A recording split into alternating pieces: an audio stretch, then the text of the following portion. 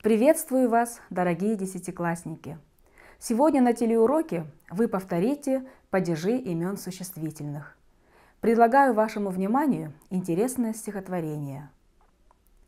Это город, еще рано, полусумрак, полусвет, а потом на крышах солнце, а на стенах еще нет. А потом в стене внезапно загорается окно, возникает звук рояля, начинается кино. Жизнь моя – кинематограф, черно-белое кино. Кем написан был сценарий? Что за странный фантазер этот равно гениальный и безумный режиссер? Как свободно он монтирует различные куски – ликования и отчаяния, веселья и тоски. Он актеру не прощает плохо сыгранную роль, будь то комик или трагик, будь то шут или король. Жизнь моя, мое цветное, панорамное кино. Я люблю твой свет и сумрак. Старый зритель, я готов занимать любое место в тесноте твоих рядов. «Жизнь моя – кинематограф, черно-белое кино», написал однажды поэт Юрий Левитанский и был тысячу раз прав. Кино – это действительно целая жизнь со своими триумфами и драмами, взлетами и падениями, героями и злодеями. Гегель впервые классифицировал пять видов искусства на своих лекциях по эстетике – архитектура, скульптура, картина, живопись, музыка, поэзия. В 1911 году Ричотто Кануда, итальянский и французский писатель, эссеист, музыковед, критик и теоретик кинематографа, написал, что шестым видом искусства является кино. Однако позже он пересмотрел свое мнение – и дал шестое место танцам, передвинув кино на седьмое место. Отсюда появилось устойчивое выражение «кино – седьмое искусство». В этот список позже вошли радио, телевидение и фотография, комиксы. Смысл кино, как и любого другого проявления искусства, вызвать эмоции – хотя магия изображения восхищала людей задолго до появления кинематографа.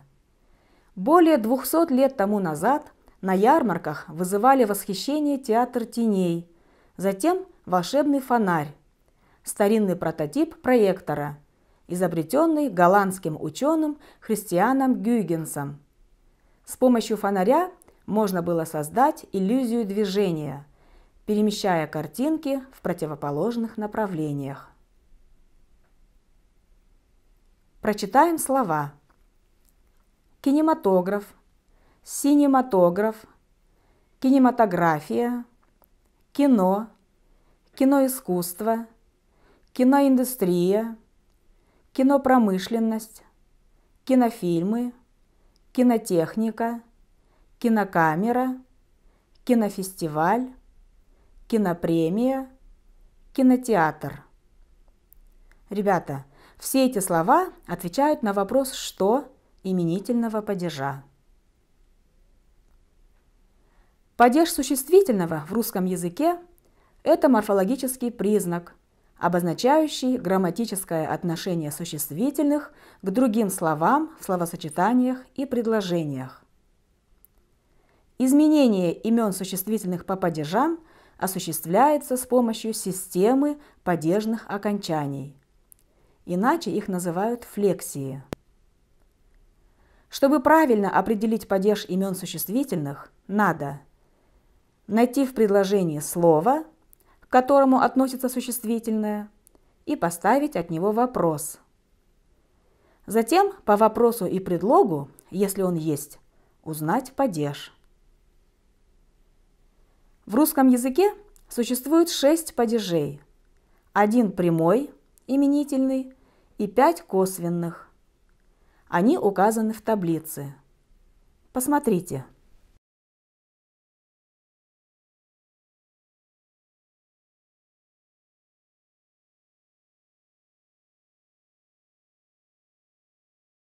Выполним задание. Прочитайте и определите падеж выделенных имен существительных. А какое кино было самым первым? Итак, киноискусство возникло после того, как в 80-е 90-е годы XIX века изобретателями в различных странах мира, братьями Люмьер во Франции, Самарским и Акимовым в России и другими был изобретен аппарат, снимающий на пленку движущиеся объекты. Этот аппарат назвали кинематографом, от греческих слов «кинема» – движение и «графо» – «пишу», то есть описывающий движение. Впоследствии такой аппарат стали называть кинокамерой и киноаппаратом, а под кинематографом или кинематографией теперь подразумевается кинопромышленность той или иной страны. Киноискусство это искусство создания кинофильма, возникшее в результате слияния литературного, изобразительного, музыкального, актерского и режиссерского творчества.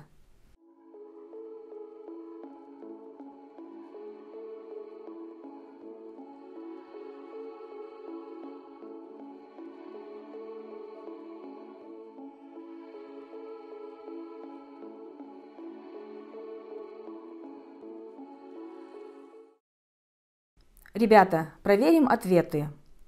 Что? Киноискусство. В именительном падеже. Кем? Изобретателями. В творительном падеже. Чего? Мира. Родительный падеж. Кем? Братьями. В творительном падеже. Что? Аппарат. В именительном падеже. На что? На пленку в винительном падеже. Что? Объекты в именительном падеже. Что? Аппарат в именительном падеже. Чем? Кинематографом в творительном падеже. Что? Движение в именительном падеже. Ребята, обратите внимание на падежи в слове «движение». В первом случае оно используется в единственном числе – во втором случае, описывающий что движение, это существительное используется в винительном падеже. Что аппарат в именительном падеже? Чем кинокамерой в творительном падеже? Чем кинематографией в творительном падеже? Что кинопромышленность в именительном падеже? Чего страны в родительном падеже. Что? Киноискусство в именительном падеже. Что? Искусство в именительном падеже. Чего? Кинофильма в родительном падеже. В результате чего? Слияние в родительном падеже. Чего? Творчество в родительном падеже. В результате признанными изобретателями кинематографа стали французы, братья Луи и Огюст Люмьер. 13 февраля 1895 года братья Люмьер получили патент на аппарат кинематограф или синематограф, который был очень удобным. С его помощью можно было легко снимать и демонстрировать фильмы на большом экране. Кинематограф братьев Люмьер был не только проектором, но и камерой. Один и тот же прибор и показывал фильмы, и снимал. Им можно было даже размножать пленки. Ребята, сейчас вы посмотрите самый знаменитый фильм братьев Люмьер «Прибытие поезда». Именно эта картина стала началом всего кинематографа.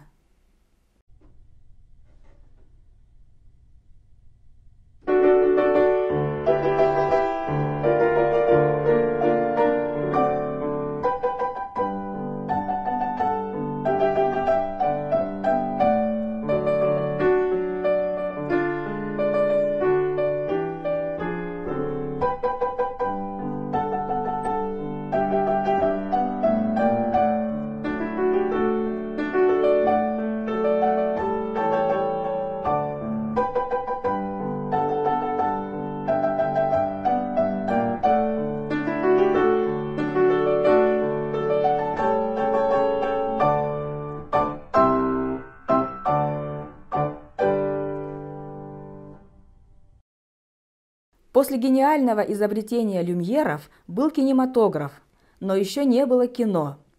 Вскоре кинематографом заинтересовался директор одного из парижских театров Жорж Мельес. Он первым стал снимать фильмы по сценариям, использовать многие специфические для кино трюки и спецэффекты. И в целом стал одним из главных основоположников кино как самостоятельного вида искусства. Одним из наиболее известных фильмов Мельеса является «Путешествие на Луну». Он был снят в 1902 году, продолжительность которого составляла 15 минут. Первые фильмы снимались с учетом ограниченных возможностей немого кино. Эпоха немого кино развивалась, и появлялись свои звезды кино. А кто был самым известным? Правильно – Чарли Чаплин. Звук в кино. В начале 1920-х годов появляется первая система, способная записывать и воспроизводить звуковое кино. Звуковой кинематограф. В 1927 году американская фирма Warner Bros. выпускает первый фильм в котором персонаж на экране разговаривает. Певец джаза. Первая фраза, сказанная главным героем «Подождите минутку, вы еще ничего не слышали», стала символом наступления эры звукового кино. Внедрение цвета в кино происходило медленнее, чем внедрение звука. Первый советский цветной фильм, снятый непосредственно на цветную пленку, был выпущен уже летом 1945 года. Это была документальная лента «Парад Победы». А вот камера, на которую в скором времени снимали фильмы в СССР. Пленка постепенно совершенствуется, как, впрочем, и аппараты, на которые снимают. Последние, самые значительные нововведения в кино – связаны с началом широкого использования компьютерной графики. Одним из наиболее передовых в плане тотального использования компьютерной графики оказался фильм «Матрица». Ребята, просклоняйте имена существительные –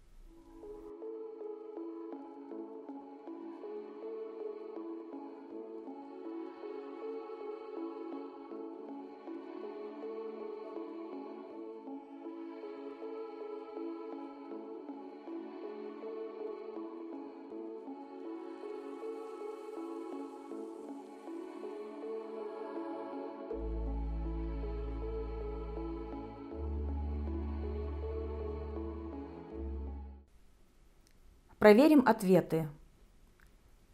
Слово «кино» не склоняется ни по падежам, ни по числам. Слово «фильм» в именительном падеже имеет нулевое окончание. Родительный падеж – чего? Фильма.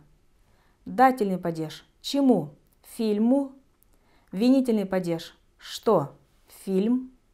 Творительный падеж – чем? Фильмом. Предложный падеж о чем? О фильме. Фильмы. Что? Фильмы в именительном падеже. Чего? Фильмов в родительном падеже. В дательном падеже имеет окончание фильмом. Винительный падеж – фильмы, творительный – фильмами и в предложенном падеже о чем? О фильмах. Ребята, просклоняйте по падежам имена существительные сценарий, режиссер, монтаж.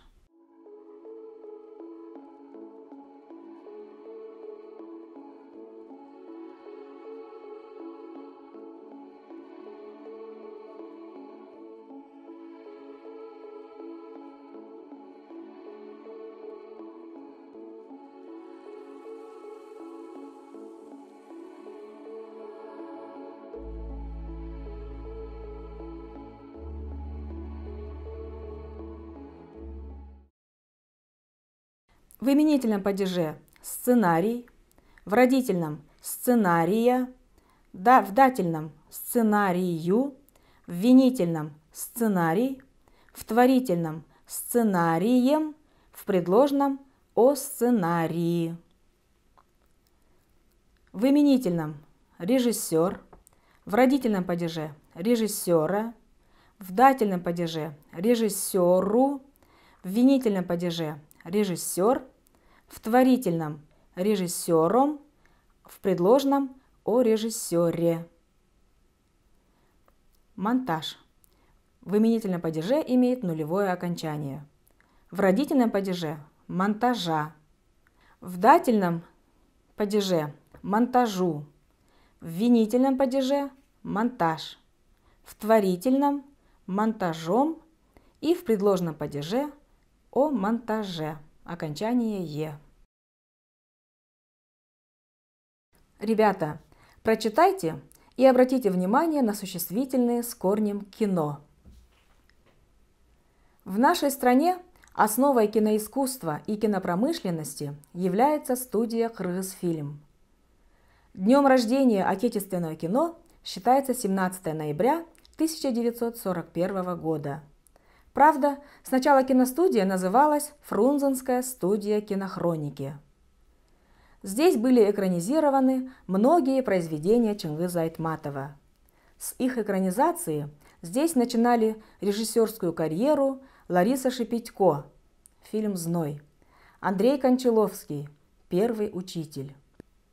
С именами режиссеров Толемюша Акеева, снявшего фильмы «Красное яблоко», «Потомок белого барса», Болотпека Шамшиева, снявшего фильмы «Белый пароход», «Восхождение на Фудзияму», Алые маки из Сыкуля, Геннадия Базарова, все вы знаете фильмы «Материнское поле», «Улица», «Зеница ока» и Альгимантаса Видугериса, снявшего фильм «Катастрофу не разрешаю» и ряд документальных фильмов, связывают феномен кыргызского чуда, период расцвета киноиндустрии страны.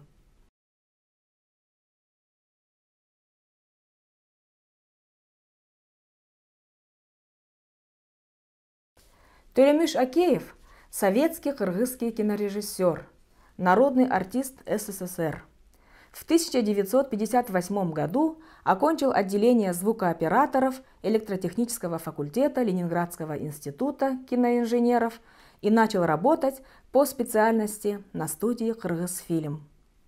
В 1966 году окончил высшие режиссерские курсы Всесоюзного государственного института кино в Москве.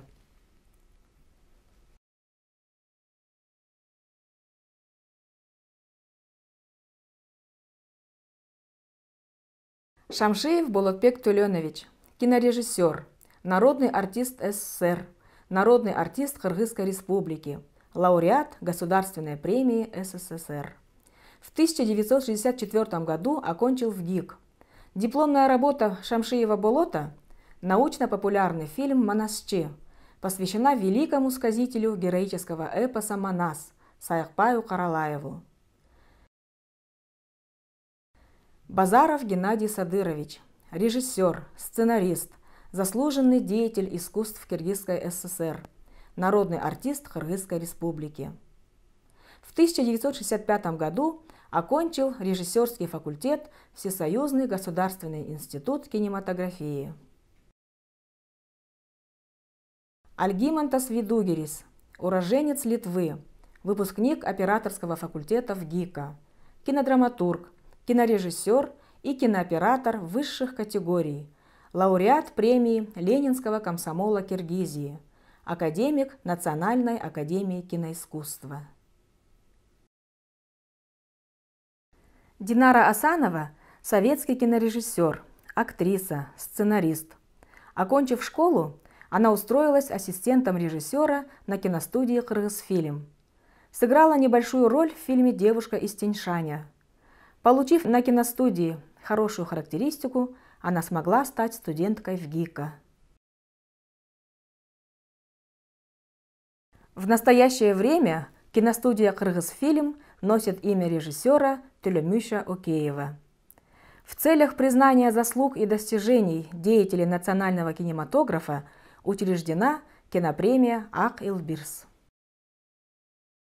С развитием кино появилось новое профессиональное направление. Киноиндустрия объединила множество людей различных специальностей, которые имели одну общую цель – снять интересный и увлекательный фильм. Какие это специальности, сейчас мы с вами разберемся, ответив на ряд вопросов. С чего начинается работа над фильмом? Работа над фильмом начинается со сценария. В сценарии детально разработано содержание будущего фильма или спектакля.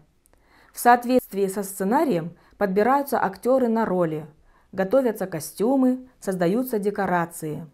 Все это делается с максимальной точностью, потому что объектив кинокамеры легко выдает малейшую фальшь. Эта профессия называется сценарист. Как вы думаете, кто стоит во главе коллектива, который снимает фильм?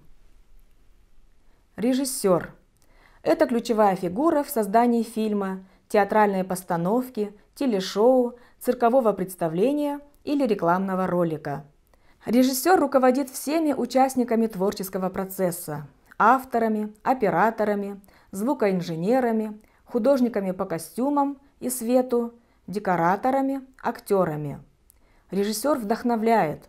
От него зависит атмосфера на площадке и уровень самоотдачи каждого участника процесса. А значит, он еще и тонкий психолог. Кто главный после режиссера? Профессия кинооператор, пожалуй, вторая по значимости в кинопроизводстве после режиссера. Кинооператор проделывает колоссальную работу – необходимую для съемки фильма не просто с технической, но и с художественной стороны. Режиссер решает, что показать в очередной сцене. Кинооператор же решает, как это показать, и решает это на практике. То есть, по сути, он является художником фильма. А кто самый главный волшебник в киноиндустрии? Профессия режиссера монтажа является самой востребованной в современном кинопроизводстве. Чтобы стать хорошим монтажером, надо иметь великолепный художественный вкус, особое чутье, разбираться в драматургии. Хороших монтажеров всегда не хватает. Каждый кино и телефильм после съемок проходит через монтажно-тонировочный период – постпродакшн, когда все элементы картины – отснятый материал – озвучку, музыку, титры и прочее соединяют в единое целое. Этот процесс называют простым словом «монтаж». Каким бы образом ни проходил киномонтаж, это всегда творческое сотрудничество между сценаристом, кинорежиссером и режиссером монтажа. И самое главное в этом процессе – командная работа. Ребята, для того, чтобы работать в киноиндустрии, нужно пройти обучение в Кыргызской высшей школе кино и телевидения или в Институте искусств. На этом наш урок подошел к концу. Сегодня мы вспомнили падежи имен существительных и поговорили об увлекательном мире кино. Домашнее задание. Дома вы составите эссе на тему «Мой любимый фильм». Всего доброго, до скорой встречи!